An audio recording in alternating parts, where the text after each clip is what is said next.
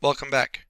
In this video we're going to take a look at the importance of creating groups as we're working through our models.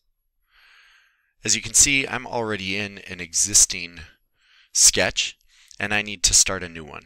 So from this screen I can click the File in the top left corner and press New.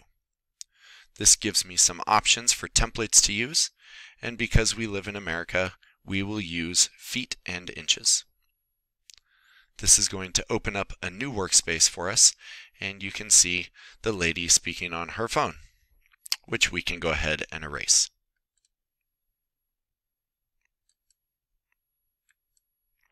There we go.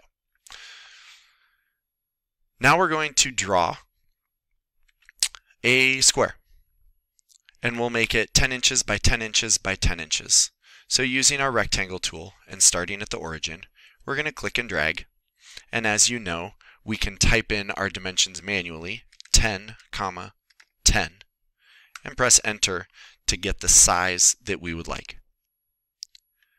Now we're going to use our push-pull tool and pull this into three dimensions, again, manually typing in our specified dimension of 10 inches. And now we have our 10 by 10 by 10 cube. As you saw in the previous video, if we simply, at this point, attempt to move part of our shape, part of our object, it is not grouped together. All of the parts are individual, and you can see the distortion happening in our object. Sometimes this is what you want to happen, and other times what you would like is for the object to move as a whole. So from here, I'm going to press escape to cancel that movement. And again, I'm simply going to use my select tool and triple click on my object. That triple click action selects the entire object, everything associated with it. And now I can right click and press make group. At this point, grabbing my move tool from the toolbar on the left and clicking anywhere on my object, the object maintains its integrity and moves as a single unit.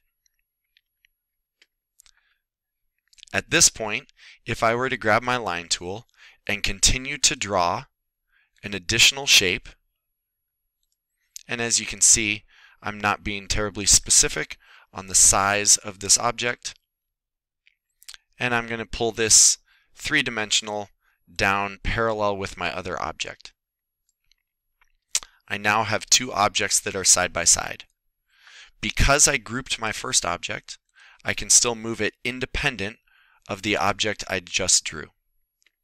However, if I do not make my new object into its own group and simply begin drawing the next shape adjacent to it,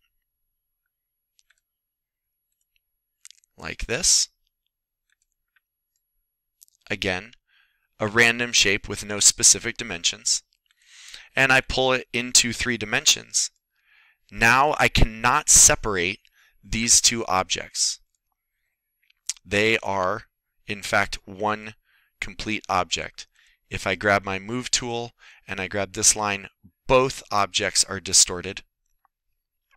And if I triple click on one of the objects to make it a group, you can see that both objects are created.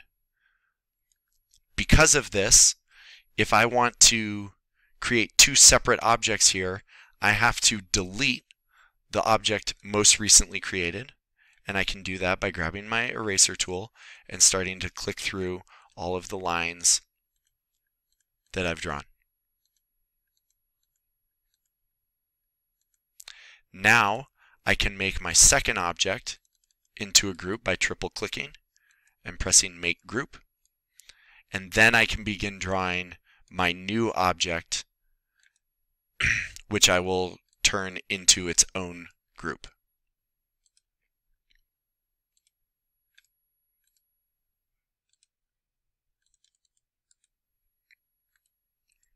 I now have three completely independent objects that I can use my move tool and I can move anywhere in the canvas that I would like independent of each other. I hope that now, having seen this example, you understand the importance of creating a group out of every object you create before moving on to the next object in your sketch. When it comes time to draw a piece of furniture, not doing this each time you create a piece of your of your furniture will cost you lots of time in going back and redrawing things so that you can group them together properly.